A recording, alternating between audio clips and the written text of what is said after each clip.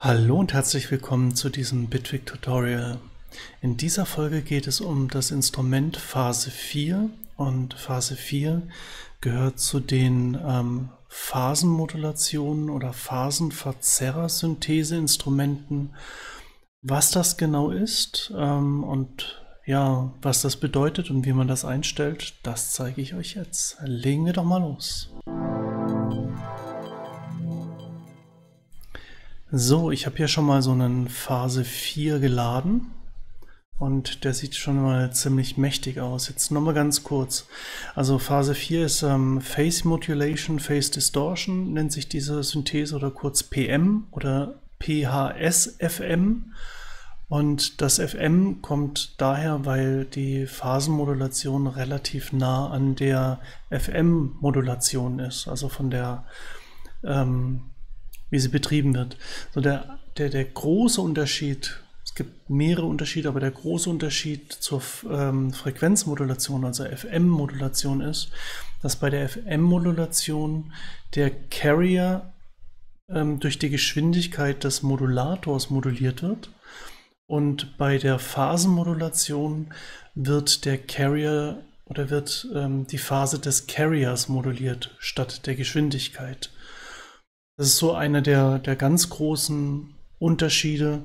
Und dann gibt es noch ein paar kleinere Unterschiede, nämlich dass man ähm, bei der Phasenmodulation, wenn man FM-ähnlichen Sound erzeugen will, Hauptsache, äh, hauptsächlich nur mit ähm, Sinus äh, das erreichen kann. Wenn andere Wellenformen zum Einsatz kommen, dann ähm, funktioniert das halt nicht mehr so. Vorteil der Phasenmodulation ist, ähm, sie ist weniger rechenintensiv, also sie ist billiger für die CPU. Ähm, der Klang bleibt äh, konstanter im Tonhöhenbereich und weil es eine Phasenverschiebung oder eine Phasenmodulation ist, hat man die Phasen soweit einfach unter Kontrolle und es gibt halt keine ungewollten äh, Phasenverstimmungen und ähm, Verschiebungen. Und man kommt auch nicht so schnell in diesen atonalen Bereich, also dass es halt einfach nur noch zum Geräusch wird. Das bleibt halt lange genug ein Instrument und ist dadurch auch etwas kontrollierbarer. So, das reicht jetzt aber erstmal so ein bisschen an, an Theorie.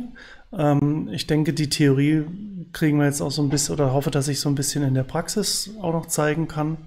Und legen wir jetzt einfach mal ein bisschen mit ein bisschen Klang los.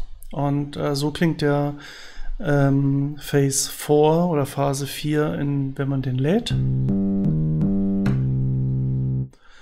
Und ich gehe jetzt einfach nochmal ganz kurz über das Instrument drüber, um nochmal so oberflächlich zu zeigen, was da alles ist und gehe dann ins Detail rein. Also, das Phase 4 Instrument, ein Ausknopf, dann haben wir hier wieder so einen Preset-Knopf, wo wir den Preset-Browser aufrufen können der Name natürlich. Dann gibt es hier ähm, die Möglichkeit, die, ähm, diese Anzeige hier einzublenden. Äh, die werden wir auch gleich nochmal brauchen. Dann gibt es natürlich die Fernsteuerungselemente, die Modulatoren, die man einblenden kann.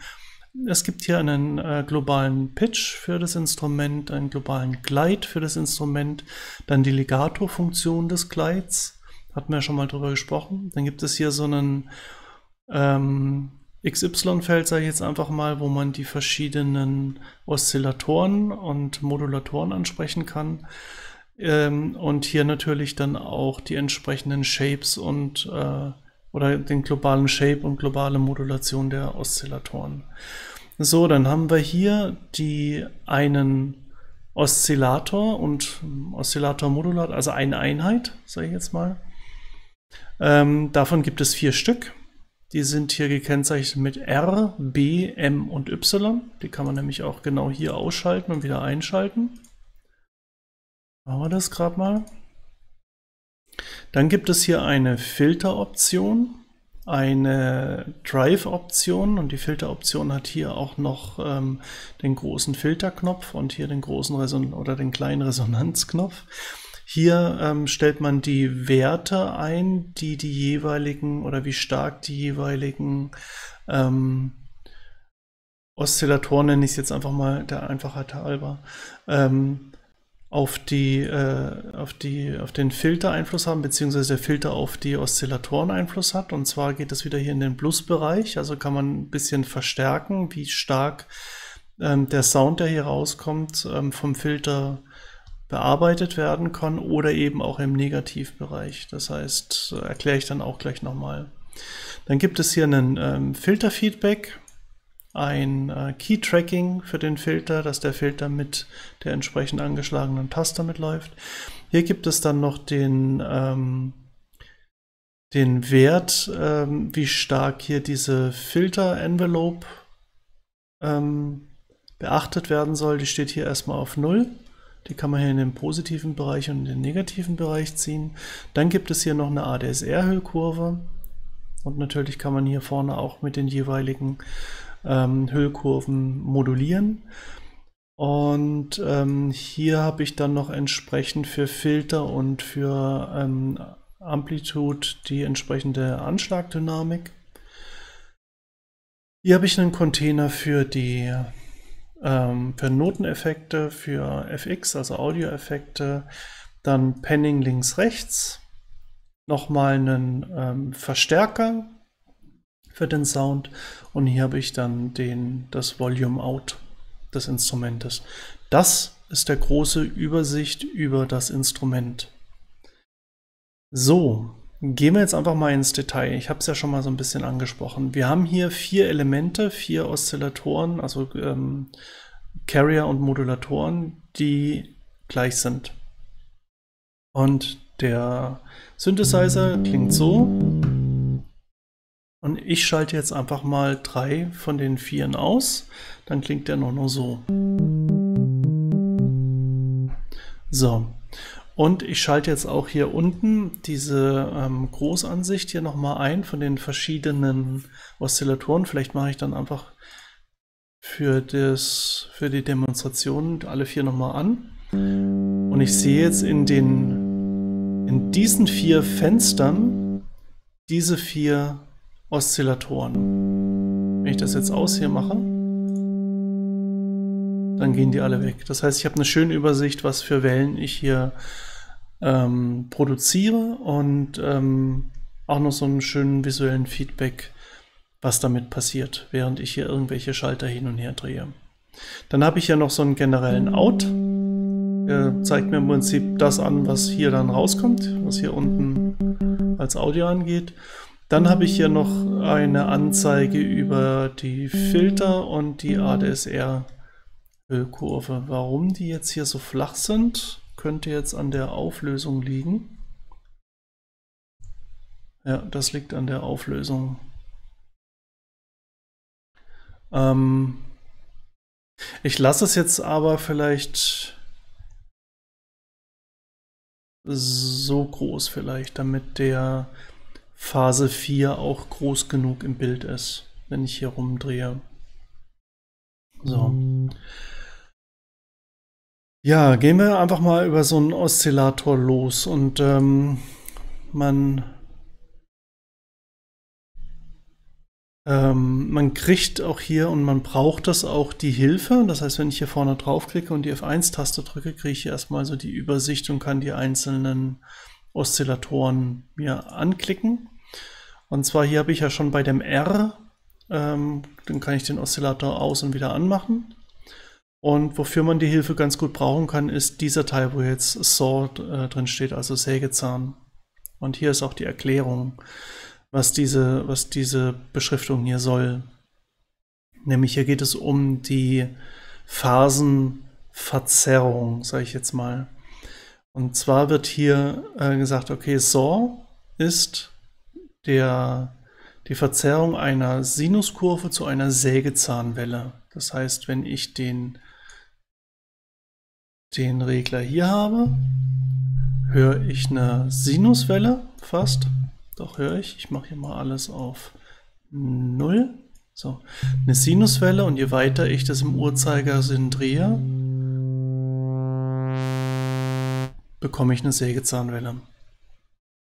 So, und dann gibt es weitere Algorithmen, nämlich ähm, Pulse Width, also das heißt, die, der Sinus wird zu einem Puls. Ich zeige das nachher noch, weil man sieht es dann schön an dem, äh, an diesem kleinen Oszillator oder äh, äh, Oszilloskop. Dann gibt es Half, das ist eine halbe Sinuswelle, die dann ähm, gestaucht wird. Dann gibt es Double, das ist eine, eine äh, Sinuswelle, die mit doppelter Geschwindigkeit, doppelter Frequenz läuft, die, dann, die man dann verzerren kann quasi zu einer Normalgeschw äh, zur Normalgeschwindigkeit, also einfachen Sinuswelle. Und ähm, dann gibt es noch die Sinus, die normale Sinuswelle, die, wenn man den Regler na, im Uhrzeigersinn dreht, immer enger wird. So, und jetzt zeige ich das mal ganz kurz. Also hier haben wir Saw, wo eine Sinus, ein Sinus zu einem einer Säge, zu einer Sägezahn wird.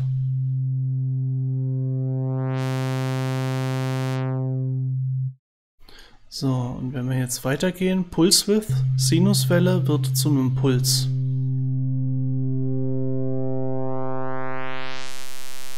Da haben wir den Puls. So, jetzt die halbe Sinuswelle. Also die wird ja hier einfach nur, statt dass die so einen, so einen schönen Bogen läuft, geht die halt einfach, springt die da wieder ab. So, und die wird jetzt auch zu einem Puls. So, dann geht es weiter mit dem Double. Das ist eine doppelt so schnelle. Ich könnte jetzt einfach eine Oktave tiefer spielen, dann hätte ich wieder einen Sinus, aber und die wird jetzt verzerrt mit einer normalen Sinuswelle, sodass die quasi fast zu einer normalen Sinuswelle wird mit so einem Puls drin. Und dann noch die eigentliche Sinuswelle, die dann auch wieder zu einem Puls wird. Also das sind jetzt erstmal so die grundsätzlichen ähm, Verzerrungsmethoden von der Phasen. Modulation. So, jetzt habe ich ja einen Modulationsrad oder Regler. Wenn ich das drehe, passiert erstmal gar nichts. Weil ähm, dieses Rad ist an diese Einstellung gebunden. Das heißt, im Moment ist hier alles auf Null und deshalb kann ja auch gar nichts modulieren. Wenn ich jetzt hier den roten Regler und die Farben entsprechen dann immer den einzelnen ähm, Oszillatoren hier, und hier ist rot eben der eigene Oszillator. Wenn ich den jetzt aufdrehe, moduliere ich diese Sinuswelle mit, dem, mit der eigenen Sinuswelle, also mit dem Feedback.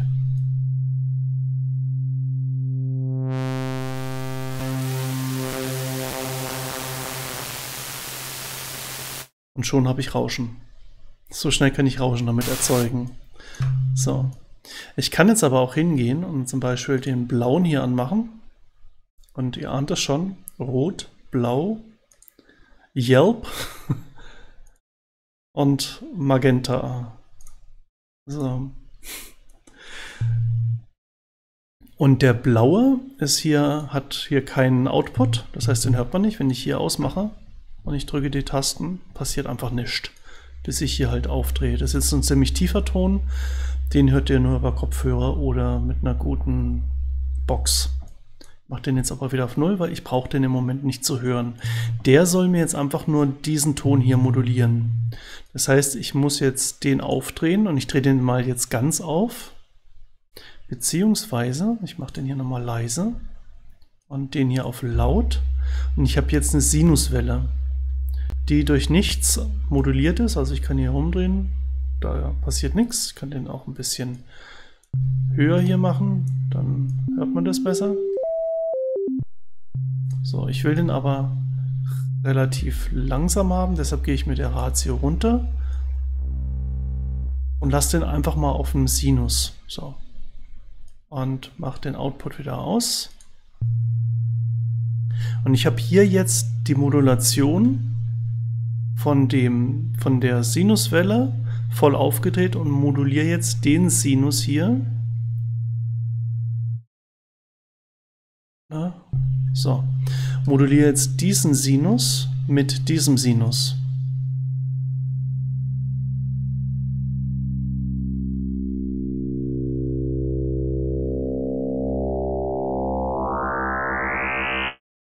Beziehungsweise ich moduliere die Phase dieses Sinuses. Und wenn ich das jetzt auf die Schnelle hinkriege, So, machen wir das einfach mal so. Ich habe jetzt hier den blauen Oszillator unheimlich langsam eingestellt. Wenn ihr da mal guckt, da kommt jetzt zwar ein Ton, aber ich höre den auch nicht. Der ist so niedrig, der ist irgendwo, glaube ich, bei, keine Ahnung, 20 Hertz oder irgendwie sowas. Weiß ich jetzt gar nicht. Aber irgendwie relativ tief, den, den hört man so jetzt nicht. Und jetzt schwingt diese Welle hin und her. Man sieht hier jetzt nur einen Strich, weil der einfach so langsam schwingt.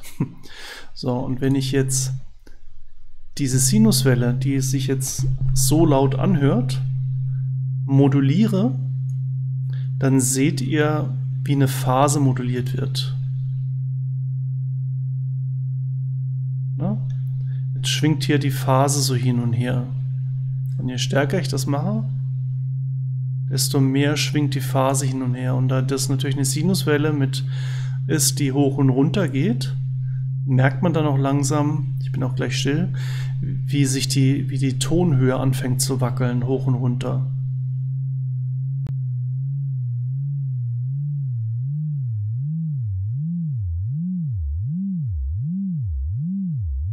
jetzt wackelt die ordentlich. Und lasse ich jetzt diesen ähm, Sinus hier jetzt schneller modulieren, also die, die Phase hier schneller hin und her schieben, dann passiert folgendes.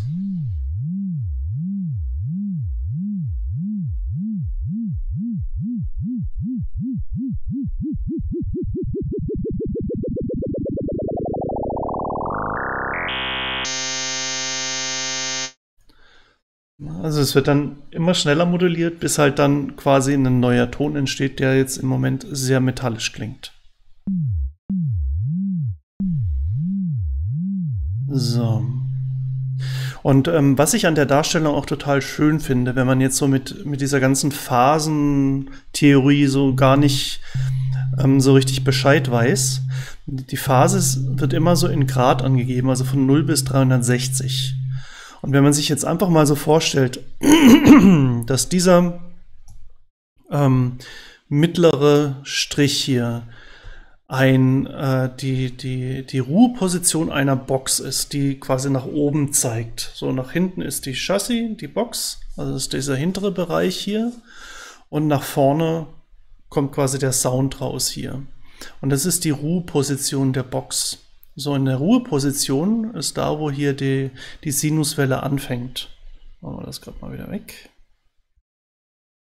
Ähm, da, wo die Sinuswelle anfängt. Das heißt, die Box kann hier quasi anfangen, nach außen zu schwingen, Luftdruck zu erzeugen, dann wieder zurückzuschwingen und wieder Luftdruck zu erzeugen. Und dadurch geht ja diese, ähm, dadurch hört man ja den Ton. Wenn die Luftdruck dieses, äh, dieser Luftdruckfrequenz äh, dann einfach ähm, groß genug ist. So. Und wenn ich jetzt zum Beispiel hier moduliere, ähm, können wir schauen. Wenn ich das jetzt hier moduliere, dann fängt das auch an einer bestimmten Position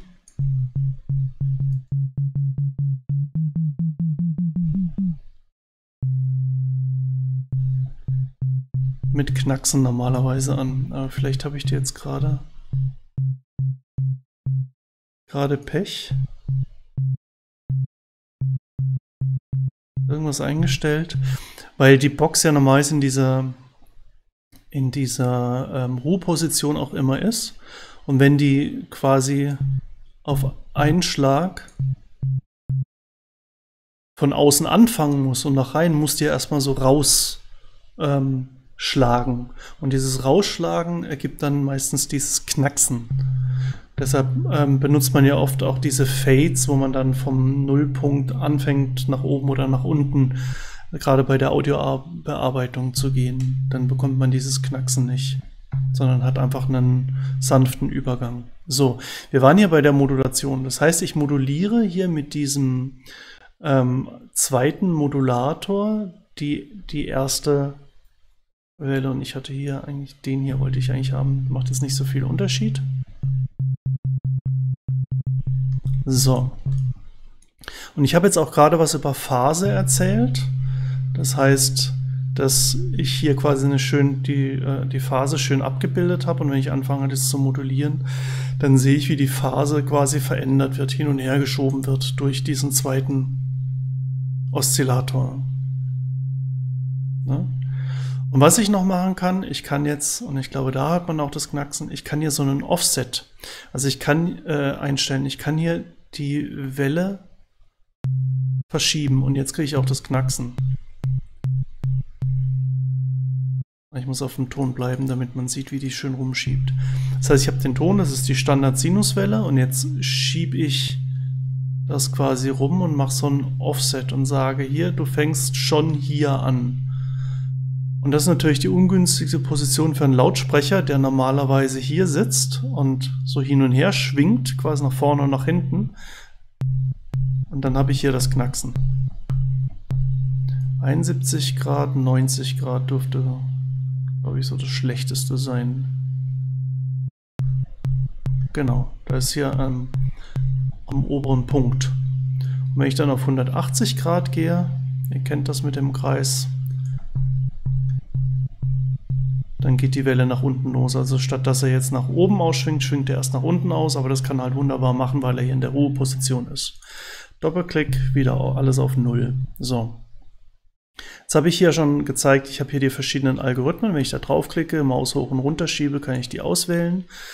Dann habe ich hier ähm, den Phasen-Offset und hier an der Stelle, das übersieht man ganz leicht, wo die 1 steht, kann ich noch zusätzliche Obertöne mit dazu ähm, einwählen. Und die werden generiert, ich, jetzt muss ich die Hilfe nochmal aufrufen, mit sogenannten Formanten, glaube ich. Genau, äh, Formant Harmonics. Genau, das heißt, die kann ich einfach mit dazu wählen. Das heißt, ich habe hier einen Ton. Wenn ich jetzt zum Beispiel hier so ein Spektrum mit reinnehme, dann sieht man das auch nochmal schön. Ich habe hier einen Ton nicht schön, aber es ist einer. Jetzt wähle ich den zweiten dazu. Das ist der hier quasi. Es kommen halt noch die Obertöne mit dazu. Den dritten, das ist der hier. Wir haben hier 1, 2, 3. 4, 1, 2, 3, 4. 5, 1, 2, 3, 4, 5. 6 und so weiter. Ihr habt das Prinzip kapiert. Das heißt, ich kann hier einfach den, dem Ton etwas mehr Obertöne und ähm, harmonische hinzufügen. So. Dann habe ich hier eine Ratio. Und die Ratio ist nichts anderes, als dass ich sagen kann, okay, geh mir eine Oktave runter. Hier. Oder gib mir eine Oktave hoch. Oder mehr.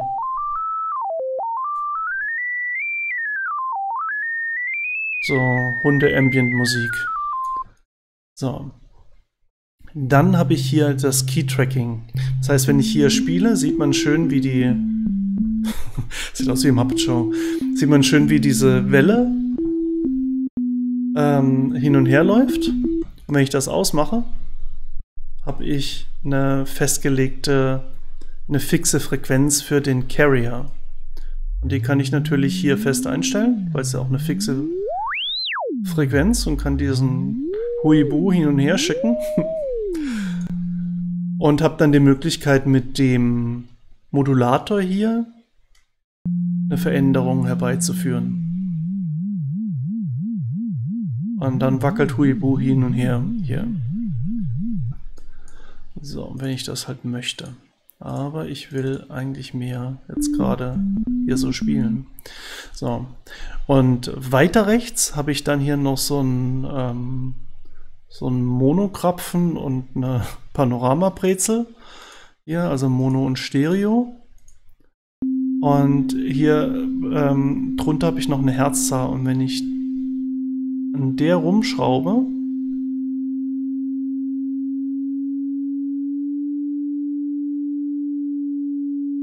hört ihr, wie die Phase der, des Sounds verschoben wird um die, um die Herzzahl.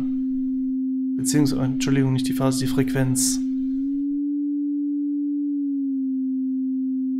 So, das heißt, es wird einfach so ein bisschen verstimmt. Ne? Man sieht es ja auch, wie die so hoch und runter geht. So vielleicht so kann man im Mono-Bereich leicht verstimmen, so ein bisschen wie unison. Und im Stereo-Bereich wird nur eine Spur davon verschoben. Das heißt, es entsteht so eine Schwebung und so ein Stereo-Effekt. So, ich glaube, es hat was mit dem Haas-Effekt zu tun.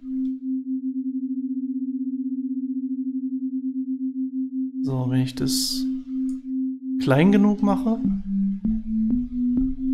gibt es einen schönen Stereo-Effekt. Wenn ich das dann zu groß mache, ist so eine heftige Modulation drin.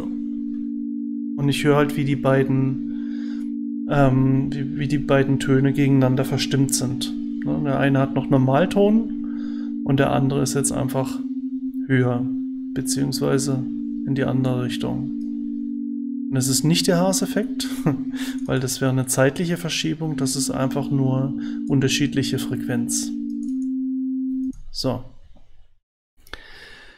Gut, das heißt, ich und hier habe ich zum Schluss natürlich noch den ähm, Lautstärke-Knopf, den Volume-Knopf, wo ich den Oszillator hier ähm, den Sound rausgeben kann. Nochmal kleine Wiederholung von dem Oszillator. Das heißt, wir haben hier einen Ausschalter, dann haben wir hier einen Phasen-Offset. Hier haben wir die verschiedenen Algorithmen, die wir einstellen kann, durch Klicken und Maus hoch und runter schieben, wenn man einstellen kann. Hier kann man zusätzlich bis zu neun harmonische Obertöne mit dazu wählen. Hier haben wir die Ratio, um den, die Oktaven durchzugehen oder eben runter. Dann gibt es hier das Key Tracking mit der Verst kann man natürlich auch nochmal hier verstimmen. Habe ich vorhin total unterlassen. Dann haben wir hier noch den, den Panoramakrapfen und die Panoramabrezel, also Mono-Stereo. Und dann eben die, äh, das Detuning davon. Hier haben wir die Verzerrung, die für die Algorithmen ähm, zuständig ist. Das heißt von Sinus zu Sägezahn, also je nach, die, je nach Algorithmus, der hier eingestellt ist. Ähm, dann haben wir hier die, das Modulations, den Modulationsregler, der andere Oszillatoren als Modulation hier reinnimmt. Das heißt, ich kann hier unterschiedliche Werte der unterschiedlichen Modulatoren, wenn die aktiviert sind hier, ähm, einstellen und die dann mit denen dann diesen Ton modulieren. So, und was wir noch haben, das ist dieser kleine rote Pfeil oder Dreieck, sagen wir einfach mal so. Und ähm, damit wird die Reihenfolge geändert, was zuerst passiert mit dem Sound. Und ähm, der Sound wird zuerst, wenn ich es richtig noch weiß, wird zuerst hier verzerrt. Wird jetzt zuerst verzerrt und dann moduliert. Ich mache mal hier das hier aus und das hier wieder an. So, also er wird erst verzerrt und dann moduliert. Ich kann hier draufklicken, dann kehrt sich das um. Dann wird der Sound erst moduliert und dann verzerrt. Und das sieht dann zum Beispiel so aus, wenn ich den jetzt einfach mal so hin und her schieben lasse und dann verzerre.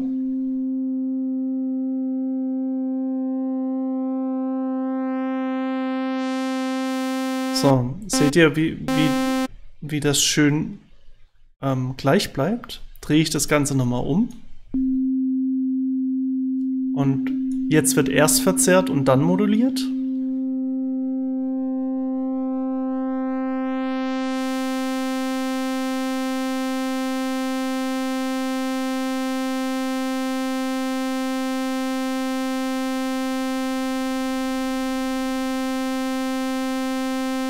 So, also es ist vom Sound her ein Unterschied, also gerade hier.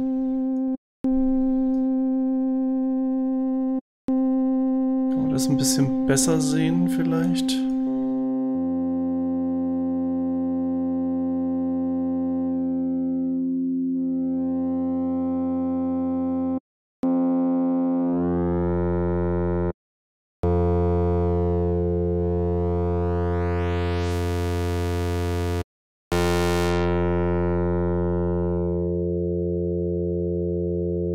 Ich glaube, so hoch eingestellt war vielleicht besser.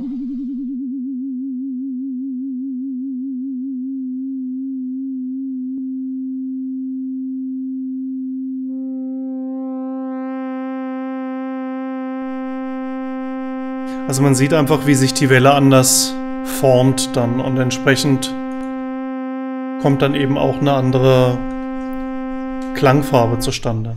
So, das heißt, ich kann jetzt all diese ähm, Oszillatoren anmachen und in jedem dieser Oszillatoren kann ich ähm, zum Beispiel entscheiden, will ich jetzt hier einen Output haben oder keinen. Das heißt, ich kann einen dieser Oszillatoren als Modulator und gleichzeitig als Oszillator benutzen. Und vier aufs Mal, da kann man ziemlich komplexe Sounds ähm, veranstalten. So, dann habe ich natürlich auf der rechten Seite eine Filterfunktion mit den gängigen Filtertypen, also ähm, Tiefpass, ähm, vierpoliger ähm, Tiefpass, also mit einer steileren Flanke, Bandpass, ähm, Vierer Bandpass, Ho äh, Hochpass, Vierer Hochpass, ein Notchfilter und Filter aus. Sieht man auch gleich, wird hier komplett ausgeschalten. So, und dann habe ich hier noch einen Drive.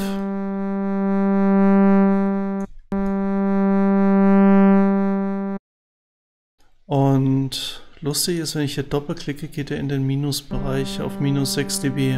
Weiß nicht warum, ganz ehrlich. Eigentlich hätte ich erwartet auf 0 dB.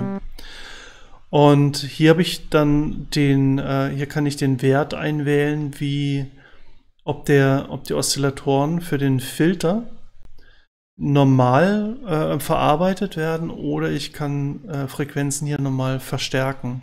Das heißt, der rote Filter hier würde jetzt die, die ähm, stärkere, ich schalte hier mal alle ein, würde jetzt stärker bei einer Filterbewegung zu hören sein.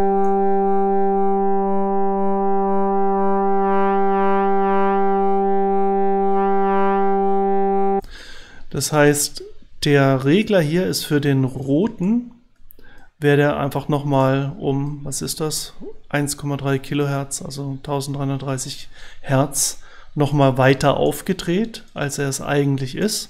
Beziehungsweise ich kann auch in den Minusbereich ähm, 1,3 Kilohertz wäre der rote hier drunter und alle anderen wären quasi auf diesem Normallevel.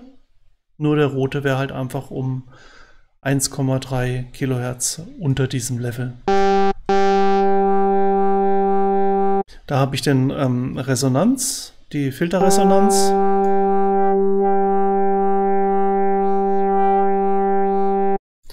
Dann nochmal, das hatte ich vorhin zwar schon erwähnt, dann habe ich hier nochmal einen Feedback. Das heißt, ich kann die, den Output von dem Filter nochmal hier in den Filter rein so eine Feedback-Schleife erzeugt wird. Ich habe hier einen Key-Tracking, um einen fixen, um ein fixes Filterset quasi an die entsprechende Taste, die ich gerade drücke, beziehungsweise an die Note, die ich gerade drücke, anzupassen, sodass der Filter immer mitwandert.